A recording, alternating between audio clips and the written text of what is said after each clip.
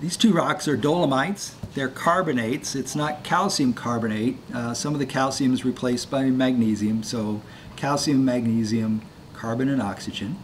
Uh, they are depos- deposited in sedimentary environments, warm, shallow waters, and sometimes they form by replacement of limestones. Uh, this one looks quite muddy. This one has a more complicated recrystallized texture. This is Kona dolomite, which is found up in the UP. Uh, a good test for these is typically I'll just take a, a, a knife, scratch the, the sample a little bit, put a drop of acid on, and you can see a small amount of bubbling. So it is reacting with acid, just not as vigorous as the limestones do. Muddy gray colors are not uncommon. Uh, the Kona dolomite has some beautiful colors, but it's also got crystals uh, or little veins of, of dolomite and actually quartz and a little bit of uh, calcium carbonate running through it too.